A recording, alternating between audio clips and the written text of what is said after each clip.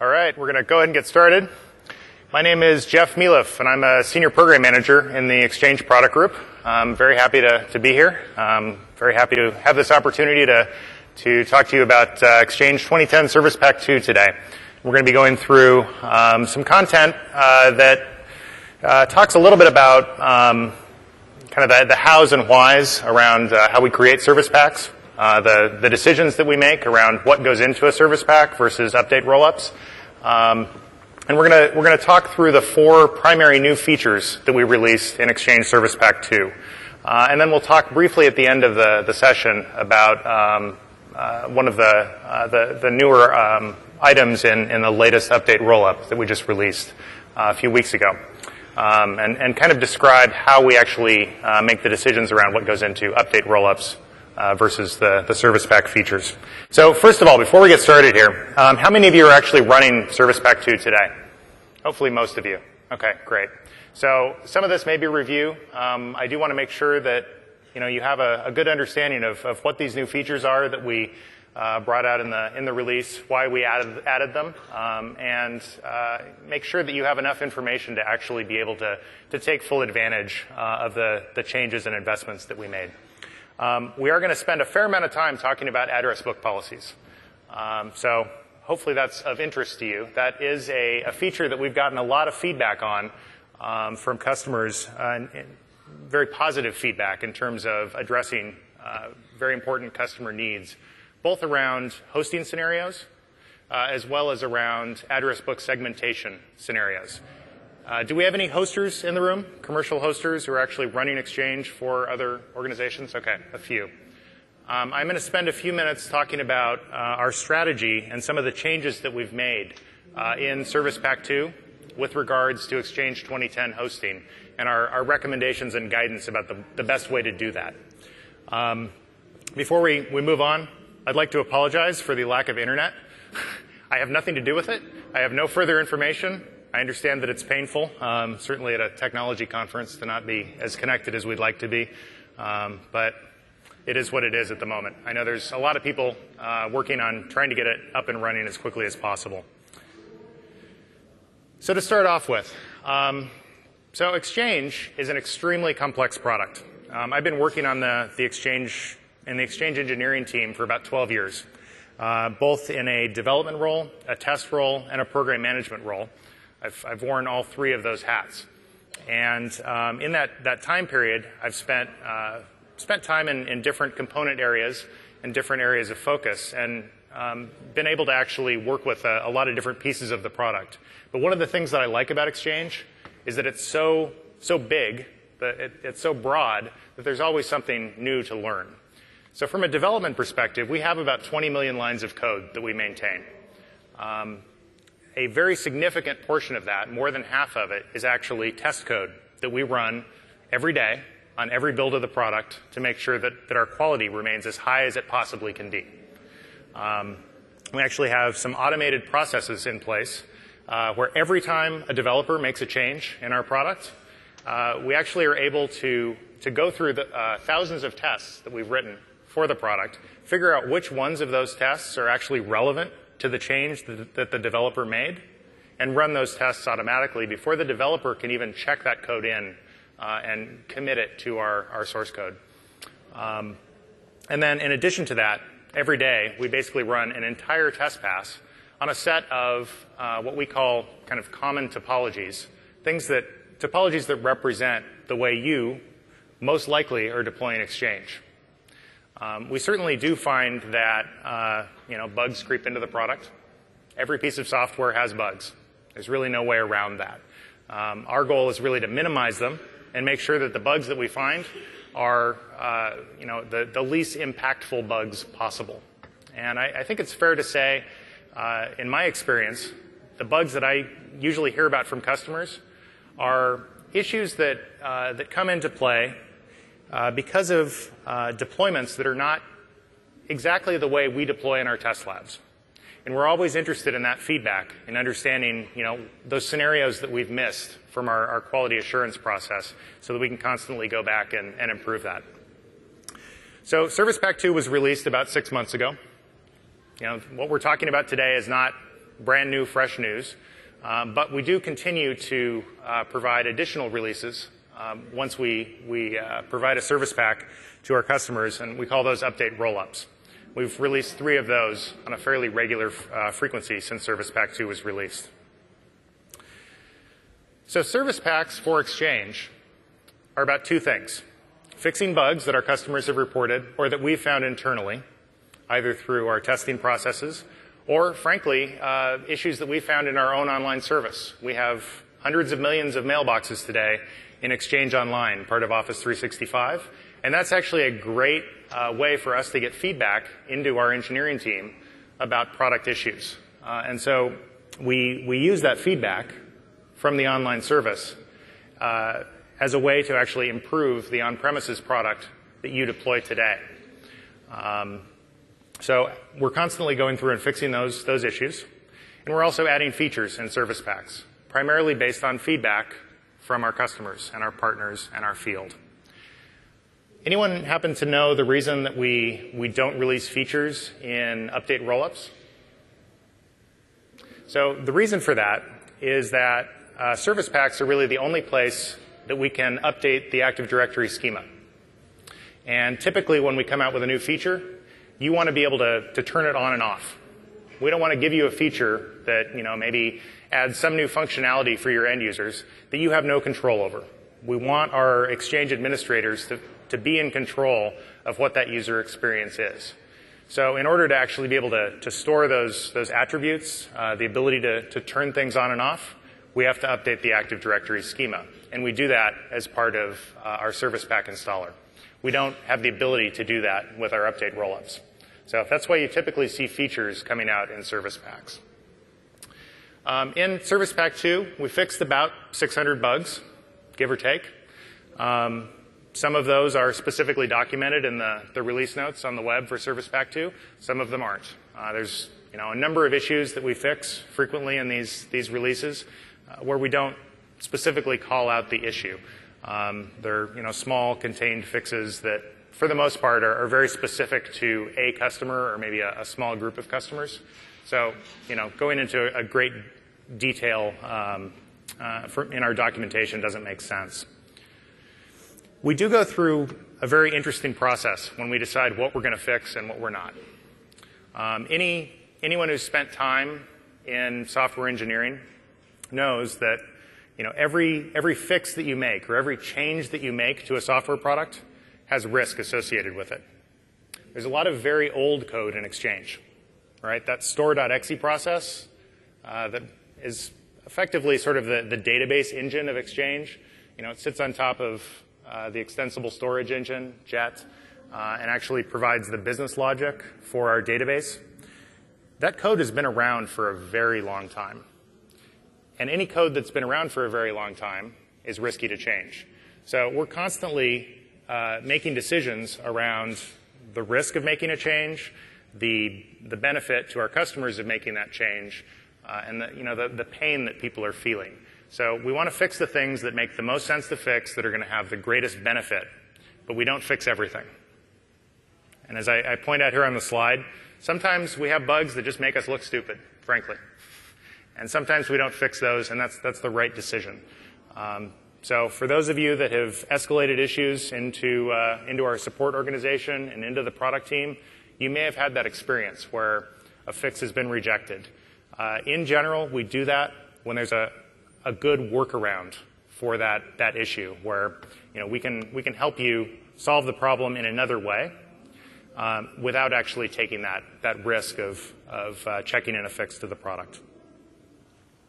So with that, I'm going to jump into talking about some of the, the new features in the product. Um, I am going to have some time at the end for questions.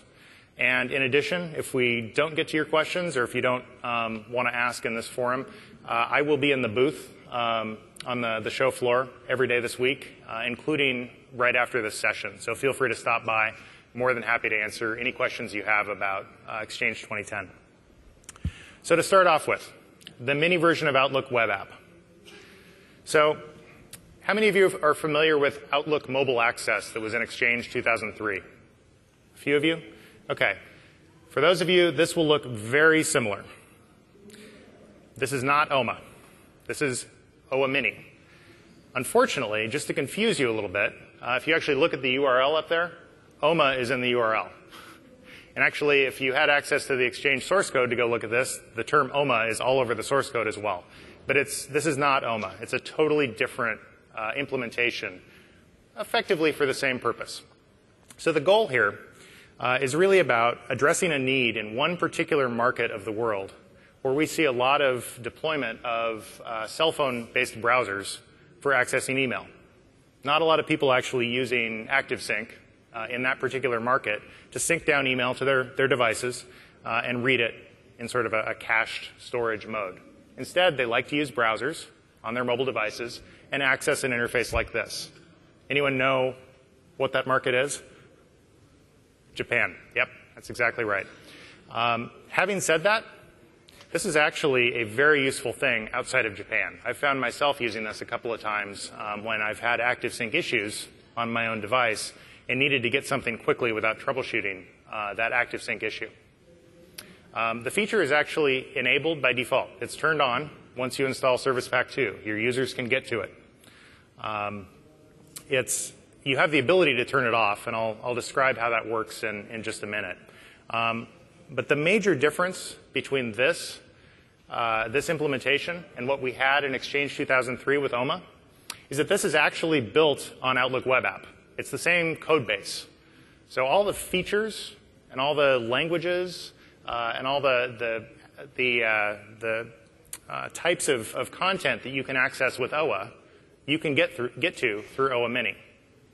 With OMA, that wasn't the case. OMA was totally separate, totally separate application, separate set of supported languages, and separate set of limitations in terms of what you could and could not do with that, with that tool. With OWA Mini, you basically get whatever is available in OWA through this mini interface. It's just a, you could sort of think of it as a theme for OWA that provides this very limited view, or very slimmed down view. So in terms of managing it, how do we manage it? Well, we can certainly turn it on or off. And that's done via OWA mailbox policies because this is part of OWA.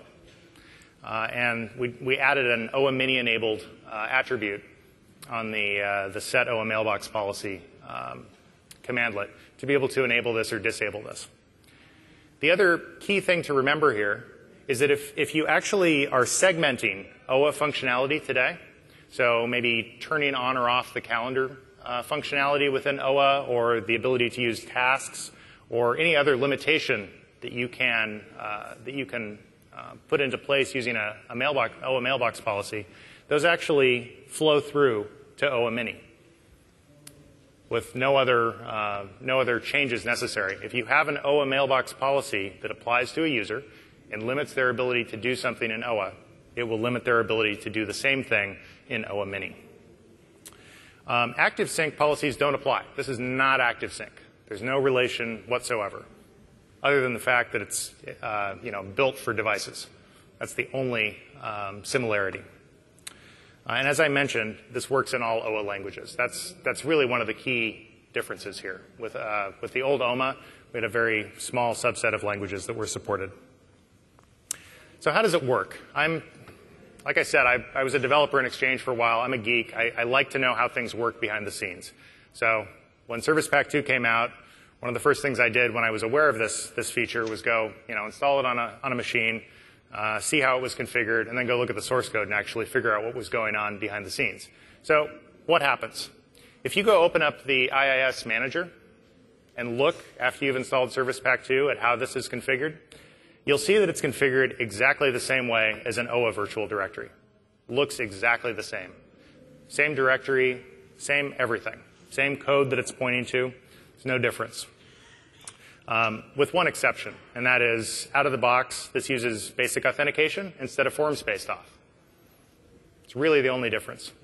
Um, when, it, when this application starts up, so the first time a user actually goes to server name slash OWA slash OMA, which is by default how you get to OWA Mini, uh, the application in ASP.NET will start up.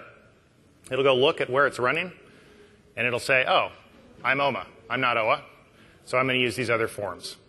It's the same code that, uh, that runs OWA It's just going into a different mode based on what that virtual directory is. That's the only difference.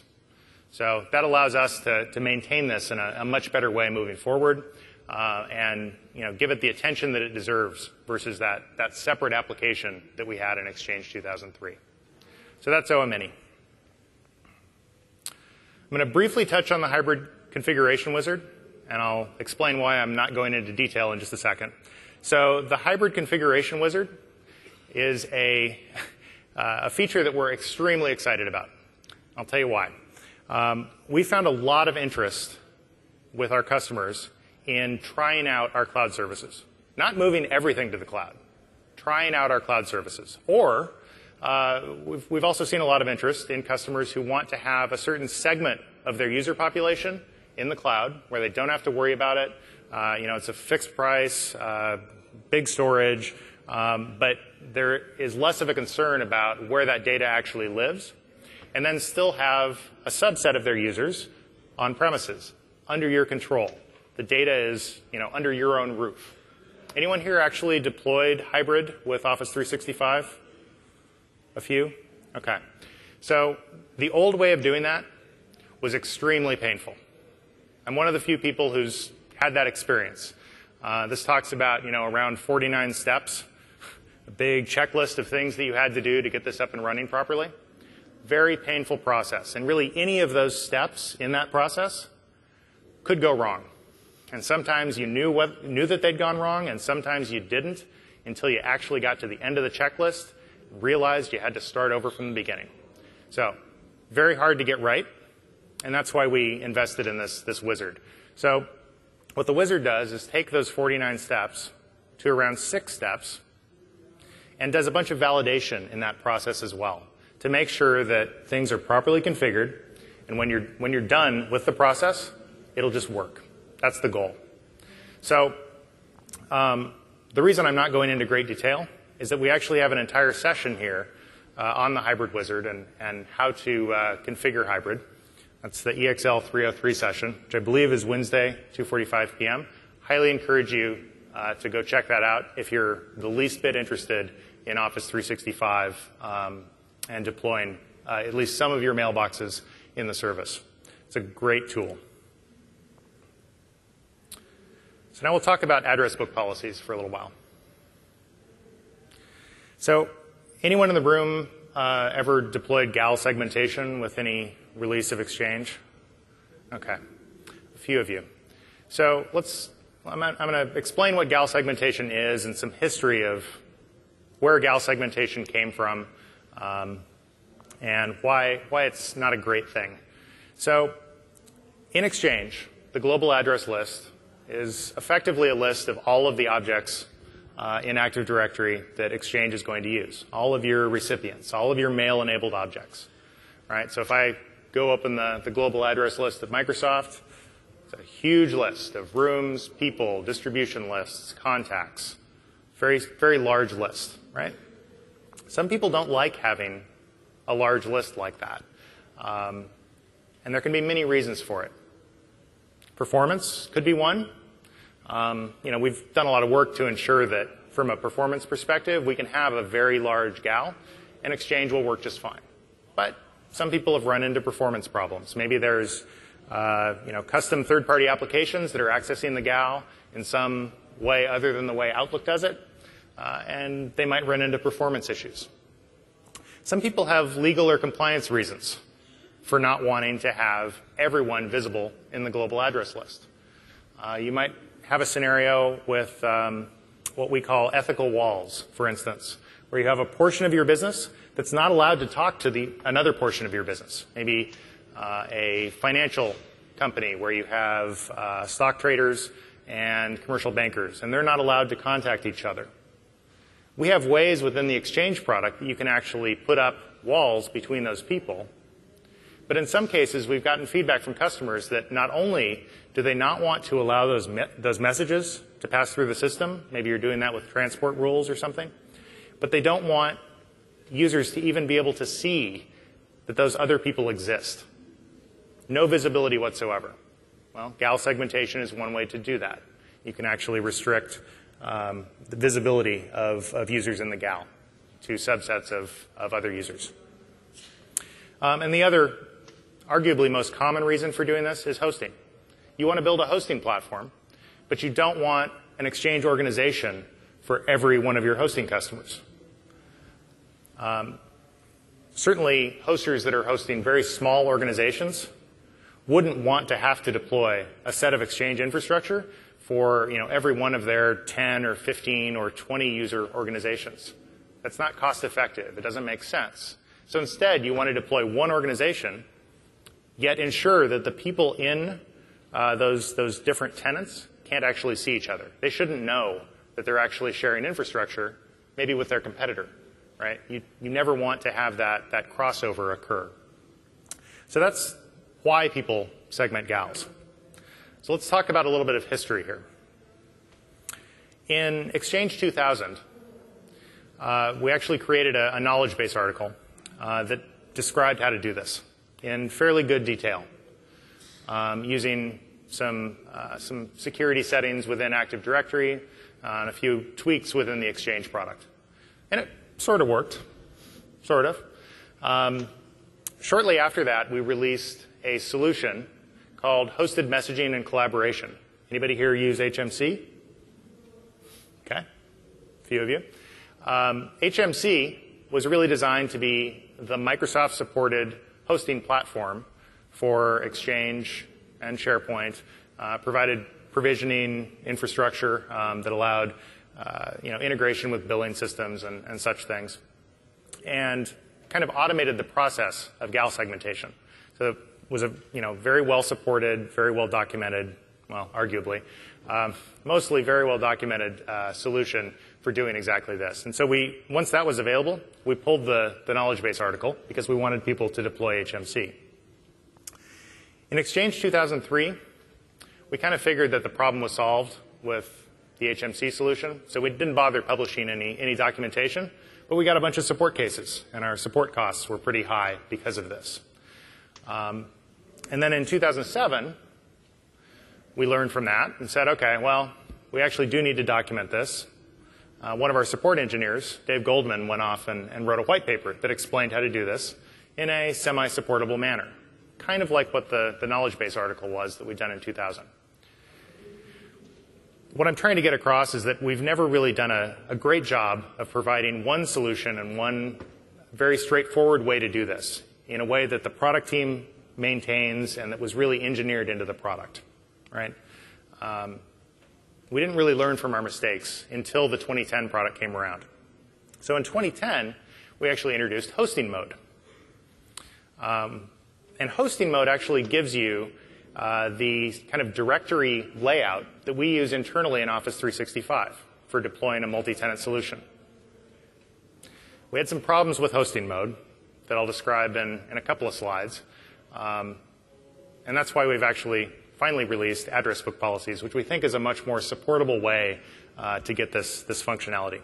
So in 2010, we do have actually two options that are built into the product, hosting mode and address book policies that let you segment gals. They're actually tested within uh, our product team uh, test processes. Uh, they're fully supported by Microsoft support, which is great and they're meeting the needs uh, that, we, that we have heard from you. So we're pretty happy with both of them. I'm going to explain why we want you to use one instead of the other in a minute or two. Um, but first, I'm going to go through um, a little bit of, of detail about address book policies and how they're different than what we've done previously. So, in the previous solutions, I mentioned that they were primarily focused on uh, setting uh, security attributes in, in Active Directory, setting ACLs, uh, to limit access to things. We also had, uh, so that actually works for Outlook, and it works for Exchange ActiveSync, but it didn't work for OWA. So for OWA, we had to, uh, had to go in and, and, adjust an attribute called the MSX query based DN that defines what portion of the directory an OWA user can see, with no kind of overlap between those, those ACLs that you set um, to limit uh, Outlook and Exchange ActiveSync. Very complicated configuration, very easy to get things wrong. And then for OABs, that was a whole other set of configuration that you had to do to make sure that users were not getting OAB data uh, that didn't apply to their, their situation. So, address book policies. How do they actually help this? So, ABPs, much like other policies that you have in Exchange, very similar concept to OWA mailbox policies or any of the other policies that you can set, work on the concept of assignment to users. And the assignment that you're making with an address book policy is the assignment of a global address list, other address lists, a room list, and an offline address book to a user. So you could think of this as if you're hosting a multi-tenant solution, for example, each tenant might have an address book policy, and all of the users associated with that tenant would be assigned that policy. Much simpler than having to go through and manipulate, you know, three or four attributes in AD and a bunch of, of uh, access control lists on each of those users. Much easier to audit, much easier to secure, uh, much easier to ensure that you get right. So ABPs only work for users with mailboxes on Exchange 2010 SP2, frankly, um, because they actually are, are, uh, are managed by the kind of common address book code that exists on Exchange 2010. For Outlook, that's the address book service that runs on CAS. For all the other workloads, that's kind of a, a shared bit of code that they all rely on uh, to get access to Active Directory. So you have to make sure that the clients that are being used are actually going through those, those layers of code. And there are some uh, some scenarios that address book policies don't work with, and I'll, I'll talk through those in a second. Um, important to be aware of that if, if, if you, any of your users are actually using those, those other access methods. So really any, any request that comes through that common code is going to be evaluated for address book policy assignment before a user is actually shown any directory information. So to show you a picture of how this works, we have a user over on the left and we're assigning him an address book policy. That address book policy lists a set of address lists, uh, a default address list or a GAL, um, the room address list that that user can see, and an offline address book. That user will not be able to see anything that's not included in those lists of objects. There's a, a set of directory objects down here at the bottom, some of which are included in that address book policy, some of which aren't. So the ones that aren't are not visible. So as an example of things that, that are impacted, things that actually do work with address book policies, if a user goes into Outlook, opens the address list picker, you know, maybe I, I click on the, the to button while I'm addressing a message and I get that address list picker, lets me select objects, that will absolutely be impacted here. That will be limited by my address book policy. Uh, if I try and resolve a name, I type a name in the, the to line, for instance, within Outlook or within OWA, and I hit the, the resolve names button or the, the key combo that lets me do that. If that user is in my address book policy, it'll resolve. If not, it'll look like an external user, right? If I typed in the SMTP address, it would stay as an SMTP address. It wouldn't actually change to the, uh, the full name of the user. If I go and want to add a room to a meeting request, if I go look at the, the list of rooms that are available to me in Outlook 2010 uh, and try and pick one of those rooms, or if I let Outlook actually help me pick a room based on what's available in, in the, the time frame that I've specified, uh, that, that's actually going to be filtered based on the, the room list that's assigned to my address book policy. Um, any searches against the GAL, uh, any, so DL memberships are a, a special, um, a special caveat here. So if I go in and, and look at the membership of a DL, that will absolutely be filtered. Absolutely. So I can't go in and you know go browsing through DLs to discover whether or not I'm actually in a, a multi-tenant hosted situation and, and, discover that my competitor is actually running in the same system. DL membership absolutely is um, is hidden based on address book policies, but this does not impact transport. So I could actually be sending mail when I send to a DL to people that I'm not expecting to send to. A DL contains me and 50 other people in the room, my address book policy might show only me when I go and, and look at the membership in Outlook. but it'll go to all 51 people that are actually on that DL. So it does not impact transport at all. Mail tips may also appear to not be telling the truth. Mail tips will actually say, hey, you're about to send to a, a DL that has 51 people on it. And you go look at the DL membership, wait, there's only one person on it. Well, MailTips actually is telling you the truth. Um, and it, it's important to remember that there are actually other ways within Exchange 2010 that you can have DLs that don't actually uh, don't actually display the full list of of users that you're going to be sending to. Right? You can have hidden DL membership. There are ways to do that.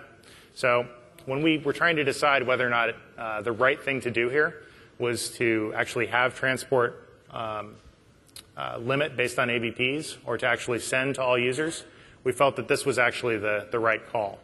You may or may not agree, but this is the way it is, so it's, it, it's important to, to be aware of, um, of how this works.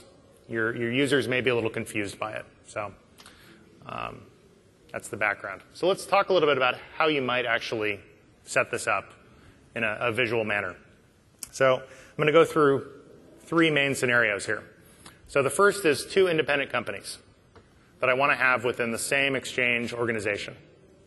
Maybe these are small companies that um, share an IT organization, and because they're small, it doesn't make sense to actually spread them out, have their own Active Directory forests, their own set of, of domain controllers, their own CAS, mailbox, etc. We want to just have one organization, pay for one set of infrastructure, one set of IT support staff, uh, and uh, uh, you know get much better cost uh, cost efficiency out of that. So we've got two companies, Fabrikam and Tailspin. So within these two companies, each one has a set of users and DLs. Each one has a set of contacts that those users commonly uh, communicate with outside the organization. And each one has a set of room mailboxes. These could be physically separate organizations, physically separate offices with their own set of conference rooms. You don't want people in Tailspin booking the conference rooms for Fabrikam. Wouldn't make sense. So in terms of exchange configuration, we have address lists for each one of these sets of directory objects. An address list for users and DLs for both, both organization, contacts, and rooms. We also have GALs, global address lists for Fabrikam and for Tailspin, and an OAB for both of them as well that's associated with those, those global address lists. So when we go to set up address book policies, and by the way, out of the box by default, there's effectively an address book policy that provides everyone access to everything, right? So this really only comes into play when you go and create your first sort of non-default address book policy and assign it to users. So what we've done here is create two address book policies, one for Fabrikam and one for Tailspin, and associated those address book policies with the, uh, the lists that are appropriate for each organization. Then we associate those address book policies with the users, and from that point forward, those users can only see the directory objects that are appropriate for them. So let's complicate things a little bit. Now we have a shared CEO between these two companies. Call him Big Boss.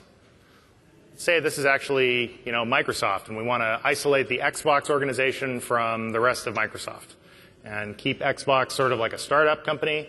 Um, the rest of Microsoft has visibility into the rest of Microsoft. Xbox only has visibility into Xbox. But everyone is managed by Steve Ballmer. And Steve Ballmer needs to see everyone, and everyone needs to be able to see up to Steve Ballmer, but not across. That's the key.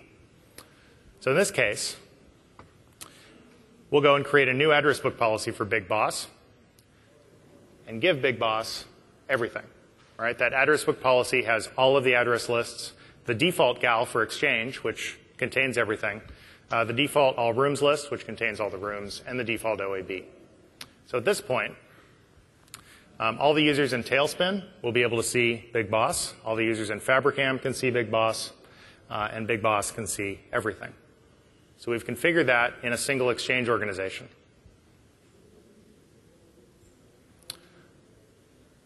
There you go. So, more complex. And this is actually arguably the reason that we created this feature. Uh, in Office 365, we actually have a large number of educational institutions. And we've certainly seen a lot of educational institutions deploying Exchange on premises. Anyone here from uh, a school or university? A few? Okay, good. Um, so there's a lot of very interesting scenarios around uh, who can, can see directory objects within educational institutions. Tends to be more restrictive in the younger grades. Um, and that's, that's the example that I'm going to provide here. It gets a little more open when you get a little older. Um, but in this particular case, I'm going to describe a deployment scenario where we have two classes of students. And the restriction is that students who are in those classes are not allowed to see each other, see the other classes, basically. They can see the principal, they can see all the teachers, but a student that's in Class A is not allowed to see a student that's in Class B. They can only see students that are in the same class. This is actually very easy to configure with address book policies. So we have basically three sets of, of, of, objects here, right? We have students that are in the classes, we have teachers, uh, which consist of the faculty, and we have the principal. So how would we configure that? First thing we do is go and create address lists for all the classes, right? Class A and a Class B address list. We can go and filter that based on some directory attribute that's uh, coming from our provisioning system. Maybe we have, I don't know, class numbers or something that goes into one of the custom attributes in AD. Uh, we go and configure an all teachers address list. Maybe we have titles in Active Directory, so we filter based on title. We go and configure an all students address list. Maybe their title is student. Fairly easy to filter on that. And we go and configure an all groups um, address list. So for students who are in Class A, all we do is create an address book policy that limits them to the Class A address list, the all teachers address list, and the all groups address list, and the global address list for Class A. So if they go and actually browse the directory, students who are in that class, this is what they'll see. They'll see three members who are in Class A, and that's basically student one, teacher A, and the principal right? Those are the relevant directory users for Class A. If they go and look in Class B in that group, in, in uh, say the, the, the, address list picker in Exchange or in, uh, in OWA or Outlook, what will they see? They'll see the teacher in Class B and they'll see the principal, but they won't see any students because they're not allowed to. They don't actually have that Class B address list in their address book policy. If they go look at everyone, They'll see everyone but the students in Class B, and in the faculty group, they'll see all the faculty. So the principal, we want to be able to see everyone. So for address lists, we assign the Class A address list and the Class B address list, and all of the other address lists that, uh, that everyone else has access to, and a gal that we've created for the principal that has all of those objects in it. So if the principal goes and actually browses uh, these groups, the principal will see everyone that that principal should have access to. Sees all of the, uh, the members of Class A, all the members of Class B. Everyone is actually everyone, and faculty is still the same, right? All the teachers and the principal. So, in terms of deployment considerations, it's really important to understand how these are configured, how they work, and how they don't work. More important to understand how they don't work. Um, and to understand that when you're thinking about a multi-tenant hosted, in quotes, solution, ABPs don't actually provide everything you need for hosting. It's very important to remember. So there are ways to get around this. I talked about transport sending to all the members of a DL, even though you don't see all the members of a DL. Um, that's just one example of how this doesn't provide true multi-tenancy. I'll talk about uh, considerations for multi-tenancy in a second. Um, but this is really more about optimizing address lists and providing a better user experience in terms of browsing the directory and making sure that your users can see what they what you want them to see or what they sh- they should be allowed to see versus actually implementing a true separated system. So I mentioned earlier that there are some workloads that this will not apply to. Anyone here use Mac Outlook or Entourage? A Few? Okay, so the, those products browse the directory by connecting directly to an Active Directory domain controller. And use LDAP. Active Directory does not contain any knowledge of how address book policies should be applied to views of the address book. And because of that, if you go directly with LDAP to a, an Active Directory domain controller, you're going to see everything. There's no way around that. Um, so what we typically see is that customers will try and disable LDAP access uh, to their directories in order to ensure that users aren't doing that. And that can have a, a less than desirable um, end user impact in that you won't be able to browse the GAL from Mac Outlook or Entourage anymore. You will, however, in Mac Outlook be able to resolve names. Some people think that that's okay.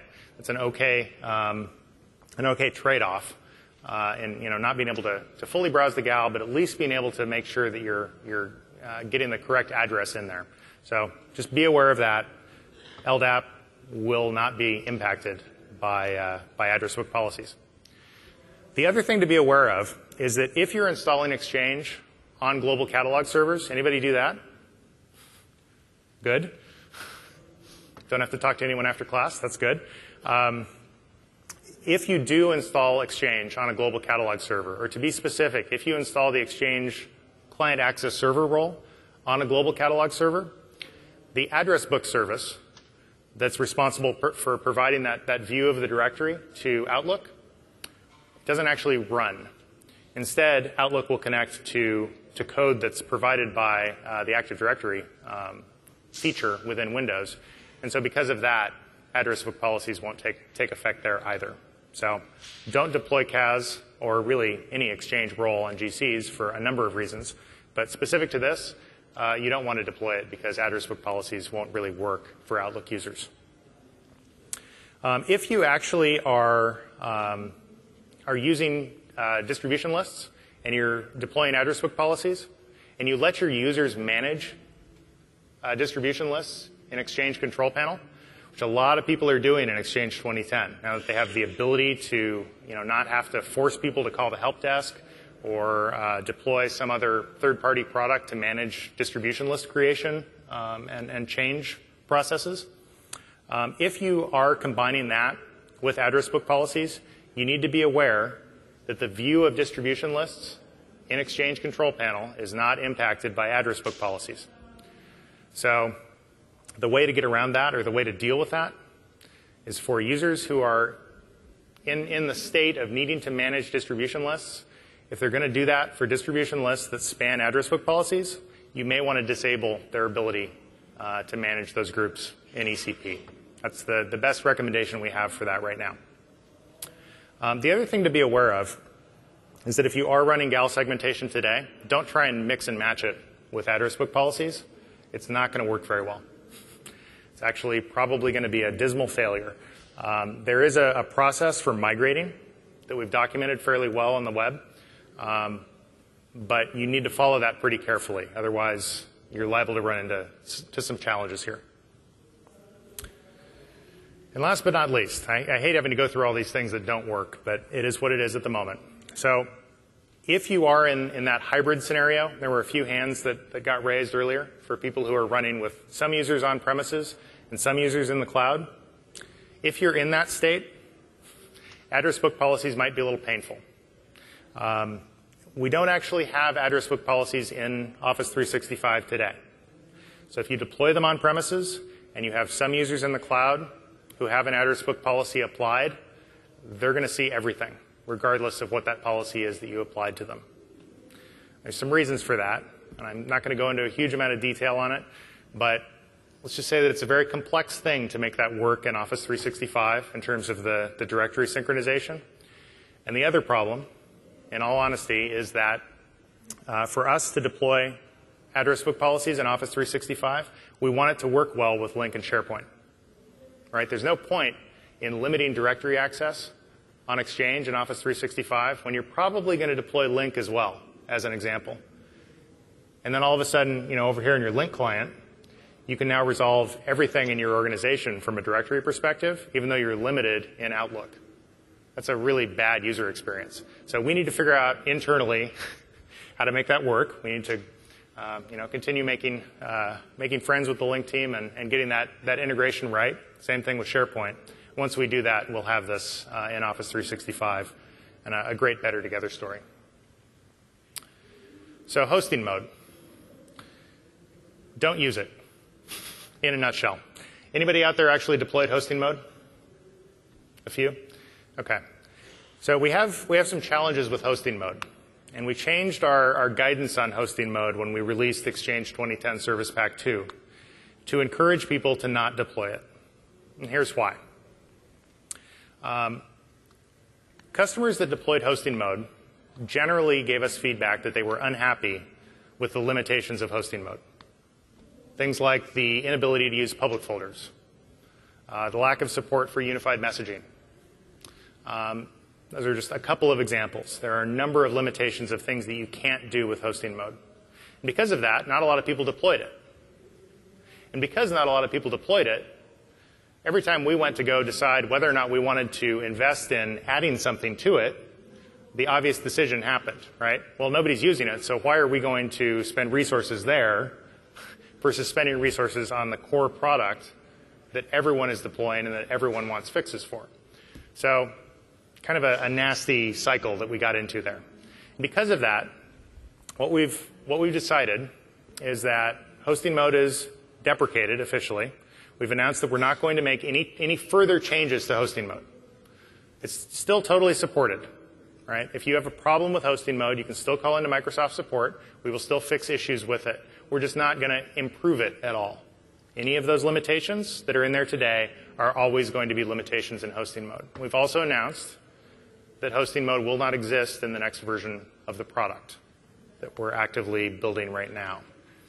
Um, so we highly encourage you to not use hosting mode.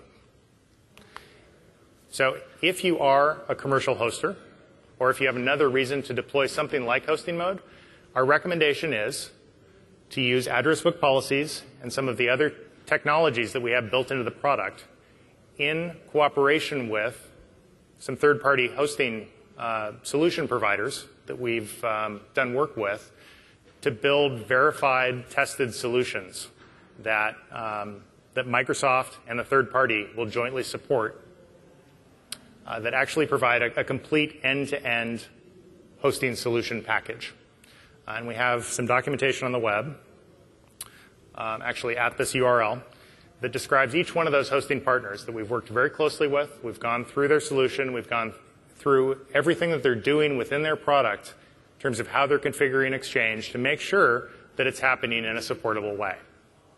The other thing that we've done is on that same website, released all the guidance that we provided to those third-party providers. So that if you, for whatever reason, want to build your own solution, you can. And if you're abiding by the, the guidelines in that document, you will have a supported solution. Or if you want to become one of those third-party providers, there's also details on, on how to do that. Um, and how to get in touch with us to, to get that, that product actually reviewed and approved. So, once again, hosting mode, totally supported through the life cycle of Exchange 2010. We recommend that you don't use it as strongly as, as we possibly can. Can I ask you to save questions until the end? I'll definitely get to you though. So with that, I'm going to talk briefly about uh, OWA cross-site silent redirection. We'll cover um, one of the new update rollup features, and then I'll move into questions. So cross-site silent redirection is one of those one of those things in the product that I'm kind of embarrassed about. Frankly, it's it's a really obvious solution to a problem that never should have been there to begin with. Um, but we finally finally fixed it. Finally made the made the product work the way it should have from the very beginning. So, why do you want this? Why do you care? How many of you have more than one Active Directory site with CAS servers today? Okay, quite a few. Um, so here's the scenario prior to Exchange 2010 Service Pack 2, let's say I'm a Microsoft user, and my mailbox is in Redmond, and Microsoft happens to have uh, servers in other sites throughout the world. I have a few other sites that we use for, for redundancy purposes, um, site resiliency purposes, as well as trying to you know, host data as close to, to users as we possibly can for a better end user experience. Well, if I go to the wrong CAS, the wrong CAS, in quotes. Well, I'm going to get a, message back from Exchange saying, bad user, you went to the wrong site. Your mailbox isn't hosted here. You shouldn't do that. Here's the right site. Go there. So not only did I get a, a, a, a scolding from Exchange that I went to the wrong place, I also have to log in again. I already gave Exchange my credentials for it to tell me that I went to the wrong place. Now I have to log in again. It's not very nice. So that's the, the scenario that, that we wanted to avoid. And in, in this particular scenario, basically what we're trying to enable is essentially single sign-on or optimized sign-on for users whose mailboxes have, for whatever reason, ended up in another site. You may have uh, activated mailbox copies in the other site. They may be traveling and got geo load balanced to some place that they, you know, where their mailbox isn't actually located. There's a whole lot of scenarios where this can happen. Um, we just wanted to make this a, a much smoother process. So let's talk about how this works and how it's configured. So it's this disabled by default. We actually know that some people like this, be, the, the current or the, the previously current behavior, the, you know, the scolding message and, and telling people where, to, where they should be going and to update their, their internet favorites. So we didn't want to just you know, change that behavior by default when you install Service Pack 2. We wanted this to be a decision that you make, um, that you're making for your, your users and the, uh, you know, the, doing the right thing for your company or your organization. So out of the box, manual redirection, the old way, is what you get. If you are using forms-based authentication for OWA and securing it with, with SSL, this will work. It's only available for intra-org uh, redirection. In other words, this doesn't work if you're using hybrid with Office 365. This is only intra-org. Very important to remember that. So to enable it, very simple. Set OWA virtual directory as of Service Pack 2 has a new, a new parameter to that commandlet, which is uh, the cross-site redirect type. Silent is the option you want if you want to enable this. You can set it back to manual if you want. And it, it, will warn you when you do that. It'll, it'll tell you that you, know, you need to have an external URL set, basically a, a place that we're going to redirect to, and you need, you need to have form-based authentication enabled. So what does this actually look like? So the old experience, I log into my Redmond site, and I go ahead and put my credentials in, and what happens? Well, I get a page that's the scolding page telling me, well, yeah, your mailbox isn't actually in Redmond. It's in London. I don't know why it's in London. My administrator seems to have, you know, done some sort of magic behind the scenes to activate a mailbox copy, or maybe my mailbox got moved. Who knows? But as a user, I now know that my mailbox is in London, and next time I should go directly there. Until the next time my mailbox gets moved or a copy gets activated, then maybe I'll be back to Redmond. So I click on that link, and I get to the login page in London. So I type my credentials in again. Hopefully I get them right. And I should actually get access to my inbox. Awesome. So that's kind of nasty. So after I go to Redmond, I type in my credentials, what happens? I get my mailbox. Very simple. That's the way it should have worked from the beginning, and that's the way it works now. So there you go. Cue applause. A few? Thank you. So let's, let's talk briefly about how it works. Like I said, I'm a geek. I like to know how things work behind the scenes. So if OWA determines that we can do this, that if we're using forms-based auth, that if, uh, if we have external URLs set up properly, if all of the, the stars are aligned, if we can do this, all we do is basically do exactly what we do out of the box with Exchange 2010 if we're performing this behavior to a legacy server right? So with Exchange 2010, we provided the ability to, to do this single sign-on if your mailbox was still on an Exchange 2007 server. We just didn't provide it for the Exchange 2010 case. So the way it works is that instead of sending that, that scolding page that tells you where your mailbox really is, we just send some HTML to your browser that contains a form, basically the logon form, but hidden, with the credentials that you provided to us, and a target of the other server that we want you to go to. and a little bit of JavaScript in there that says when the page loads, submit the form. Trivial, right? Very easy. If JavaScript isn't enabled in the browser, obviously it won't work, but frankly, oh, it won't work either. So hopefully that's not a problem. Um, but yeah, very simple implementation, and it just works. So we're going to talk briefly about the latest update rollup, which we unfortunately call RU. Should be UR, because they're not uh, they're not updates of rollups. They're well rollups of updates. But anyway, so we, are calling them uh, update rollups or RU. Uh, the latest one is number three. So in update rollups, we typically are just fixing bugs. Right? We have a normal cycle that we go through of fixing issues that come in from customers, come in from the field, and that we found in our online service. These are things that we think have broad applicability, that you're very likely to hit. We don't do a lot of them um, in an update rollup. There's usually maybe 40 or 50 bug fixes. It's a fairly low number. Uh, and it's a number that we feel that we can test pretty thoroughly within our, quality assurance process before we do a release. We're constantly raising the bar on that quality assurance process, uh, getting better and better about uh, avoiding what we call regressions. Basically, you know, taking a step back and um, making something not work that used to. That's a, that's a regression. We want to avoid that at all costs. So we're constantly tuning things in the product. Some of these things are bug fixes, like I mentioned. Some of them are tweaks for performance, scalability, etc. And typically when we come up with a, one, of, one of our larger sort of tune-ups, you'll actually see that documented on the Exchange Team blog. Everyone here familiar with the Exchange Team blog and reads it regularly? That's really the primary way that, that the Exchange engineering team communicates with our customers today. Um, we love the, the comments that we get on the blog. Uh, we love publishing information there. It's, it's a great, highly effective way for us to stay in touch. So those of you that aren't familiar with it, highly encourage you to um, add it to your, your favorite RSS reader, uh, read it religiously. Uh, there's a lot of great information published there. So you'll see uh, documentation typically right after we publish a new update rollup about the, the tune-ups that are there. And I'm going to talk about one of them now.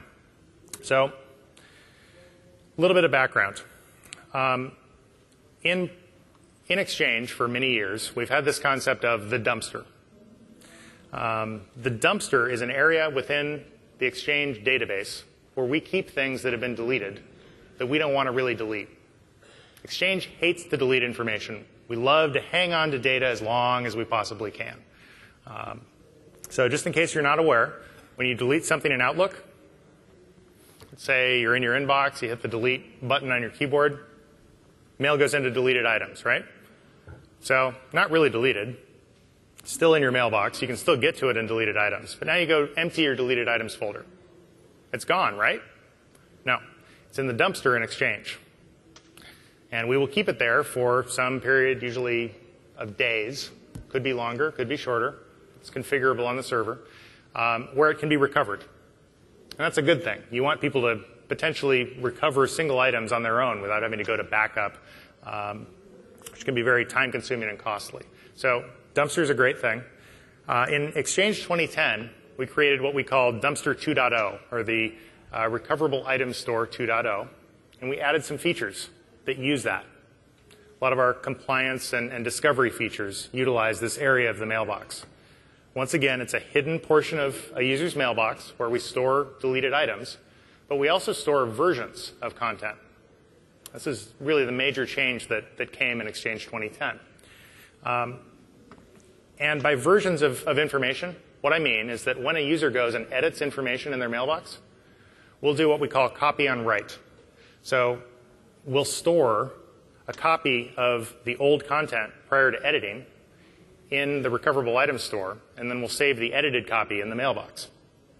So that means that users can go and could have historically gone and edited information in their mailbox, and it wouldn't have been discoverable, right? Uh, if I went and did a, a multi-mailbox compliance discovery search, uh, I wouldn't have actually seen that content change.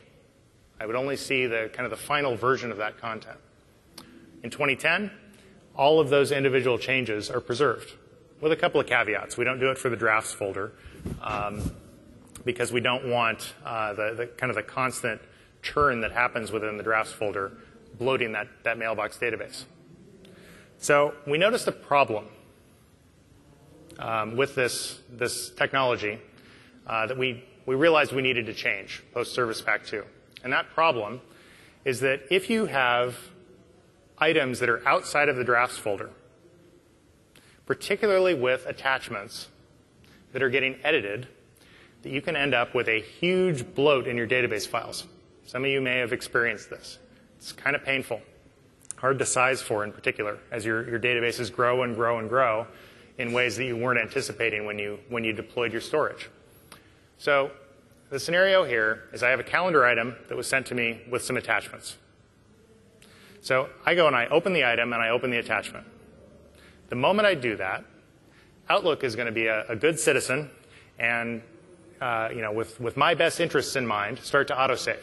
Like all of the Office products that we have out there today, right? They autosave on a regular schedule to make sure that if something bad happens, you preserve data, right? If program crashes or if, you know, you're, you lose power, whatever, you've got data preserved. Well, that's great, and it's also a problem for Exchange. So every time Outlook is auto-saving, it's saving the item, which we're doing a copy on write for, and it's also saving the attachments separately. So let's say I have a, a, a, message or a calendar item with 15 attachments that are 15 megs each. Every three minutes, I'm going to save the entire set of that content multiple times, where multiple times equals the item plus the number of attachments. And I'm going to preserve that for the duration that I've set for uh, content to be stored in the recoverable item store, which might be weeks, might be months. If a user's on litigation hold, might be forever. Huge problem. So what we did in, uh, in this update rollup, frankly, it's very minimal, very minimal change from your perspective, fairly significant change from our perspective. Uh, but what we did was just change this so that the only thing that we're doing is, is storing one copy of that change um, and optimizing this fairly significantly. So rather than storing each one of those, uh, those attachments um, and the item itself, we're just saving the, the entire package once on that, that three minute update interval. So you still will see some database growth for this scenario, but significantly less. So that's one example of the types of tune-ups that we're constantly, uh, constantly adding in update rollups, and one of the reasons that we want you, as much as possible, to deploy these update rollups in your own, your own topologies. Obviously, we, we also want you to test them first. Everybody here has a lab environment or maybe a virtual machine on a laptop uh, where they can test things prior to deploying in production, right? That's, that's definitely a best practice um, and something you should do before deploying really any enterprise software, anything that's going to impact your business. Highly recommend you do that. But stay as current as you can on Exchange. That's, that's the best practice. So with that, um, I've got almost 15 minutes for questions. Um, but I am going to point you to a few related sessions. So Scott Schnoll tomorrow is going to do a session on Service Pack 2 tips and tricks. This is always a very well received session. Um, and he'll go through some of the some of the issues that we've seen in the field lately around Service Pack 2, uh, some of the ways that you can, can deal with, with those issues, and he'll talk about uh, some of the new things that we've released um, in terms of support tools and uh, techniques for keeping your, your Service Pack 2 servers um, in tip-top shape. I also mentioned the, the hybrid exchange session uh, with the hybrid configuration wizard. That'll be on, on Wednesday as well in the afternoon. Highly recommend you attend that. Um, I do want to mention, I'm going to flip quickly through this, that if you are interested in Exchange 15, I really wish that I could talk to you today about Exchange 15 because it's something I've been working on personally for a few years now. Um, but we're unfortunately uh, under some pretty strict uh, guidance about our ability to talk about it here. Um, basically, we're not allowed to talk about it here at all. But if you are interested in Exchange 15, this is going to be the first event where you can get very in-depth information about the next release of Exchange. Uh, the vast majority of the content delivered at the Microsoft Exchange conference um, at the end of September will be around Exchange 15. And you'll have an opportunity to talk directly to folks like me, as well as component team uh, program managers and developers, the folks who actually uh, went through the process of, of engineering the product and making the decisions about uh, what went into the product. So if you are interested, highly encourage you to attend this. It's going to be a, a great session. So with that, I will encourage you to submit your evals, and I'm more than happy to take questions. There was one over here around uh, hosting, I believe. Yep.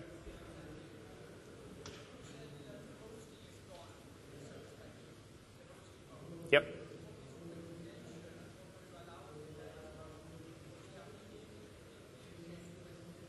Okay, so the, the question was, um, given, given that uh, we've announced that hosting mode is deprecated in Service Pack 2, what's the, the guidance for what replaces that, and what's, what can I talk about uh, coming in Exchange 15? So the guidance for replacing that is what I, what I went through in, in uh, at, kind of at a high level in the deck, which is we have a, a solution guidance program in cooperation with some third-party vendors uh, where we have entire end-to-end solutions that the product team has, has gone through and approved um, that we've deemed to be fully supportable for deploying a multi-tenant exchange solution. Um, and those don't utilize hosting mode. They utilize just a normal deployment of Exchange. They can uh, allow you to um, upgrade from HMC in place in the same forest, unlike hosting mode. Uh, you can deploy public folders, you can deploy unified messaging. All those limitations that came with hosting mode are really thrown out. You can uh, really deploy the entire Exchange uh, stack with those, uh, with those um, solutions. Around the Exchange 15 part of the question, um, like I said, I can't really talk about details around Exchange 15, but we have specifically announced that Exchange 15 won't have hosting mode.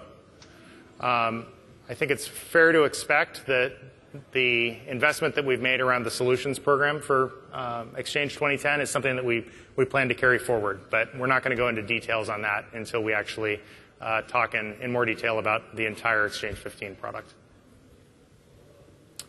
Other questions? Yep. Public folders.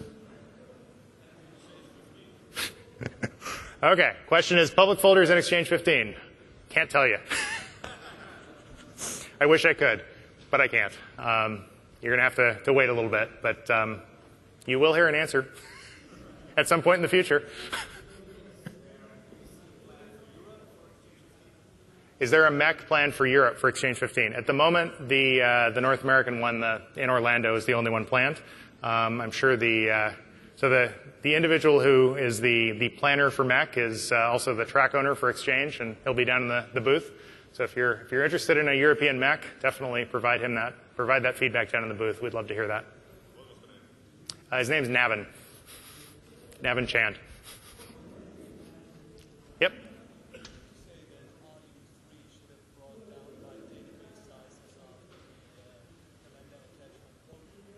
So uh, the question is, should RU3 bring down the database sizes due to the, the calendar attachment problem? Uh, yeah, I, I, wouldn't actually, I wouldn't necessarily expect it to reduce your database size just by installing it.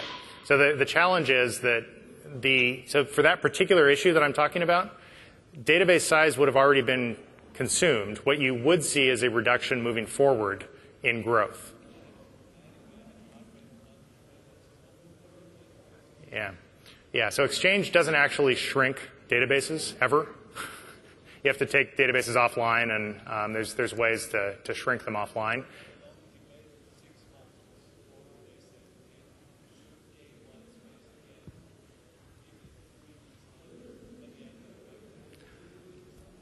Yeah.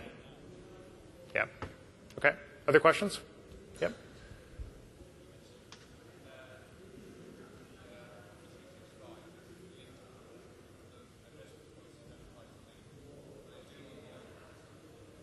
No. So, yeah. So if, if you are running uh, Lync on premises, uh, address book policies won't apply there either.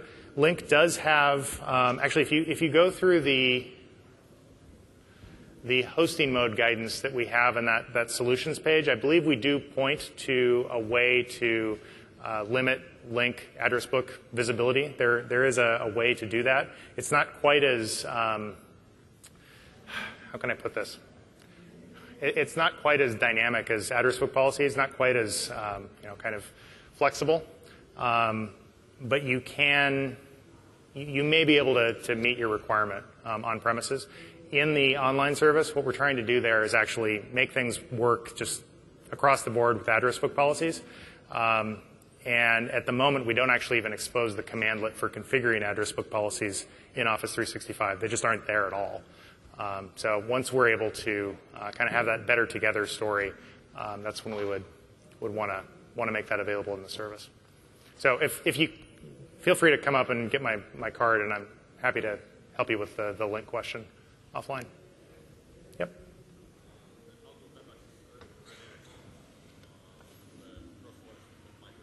Mm-hmm. Cross-site uh, silent redirection with if you're doing cross-forest, um, so that's separate organizations, this only applies to intra-org redirection. So yeah, it won't work in that scenario. Sorry about that. I'm going to take him and then I'll take you. Yep. Yep.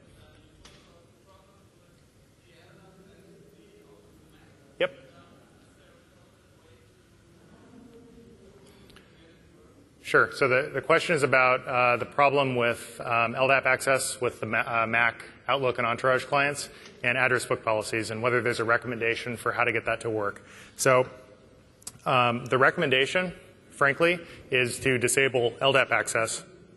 Um, and there's a number of ways you could do that. Um, you have to be somewhat careful about how you do that because Exchange needs LDAP to, to be able to, to communicate with uh, those domain controllers but you could potentially um, put in some firewall rules that allow uh, Exchange servers to get access, but allow your, your clients to not. And if that's the case, Outlook won't, uh, Mac Outlook won't be able to browse the address book, but they will be able to resolve names. So you could have users, you know, have contacts locally for the set of, of um, uh, you know, users that they regularly uh, communicate with. Um, you know, they'd be able to browse those locally. Um, but you, there is no, no current way to, uh, um, you know, to have Outlook go through the, the same service that, that provides that filtered view of the directory.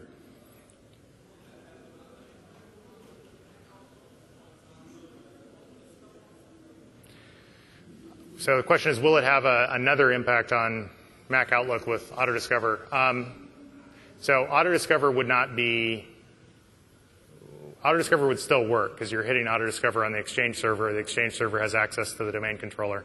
Um, so we don't anticipate other negative Im- impacts. Um, we're not aware of any. We haven't seen any via testing. So. Sorry, say that again. Does OWA work in Exchange Online? Uh, yes, it does.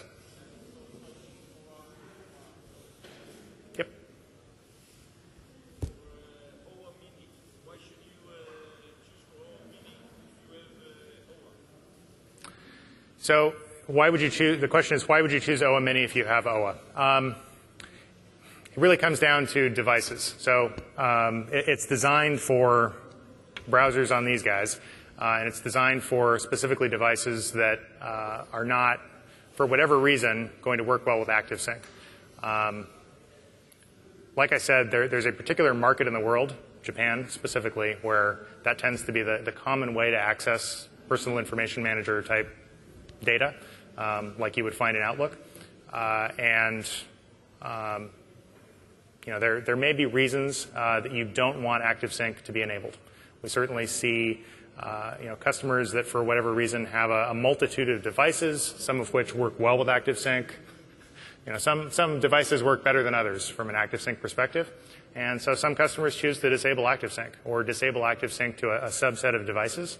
This would allow you to get in to your mailbox and access your data in a, an, a way that's optimized for a small device without, you know, if you don't have the ability to use ActiveSync. That's, that's really the, the scenario. Anybody else? All right. Oh, one more. Okay.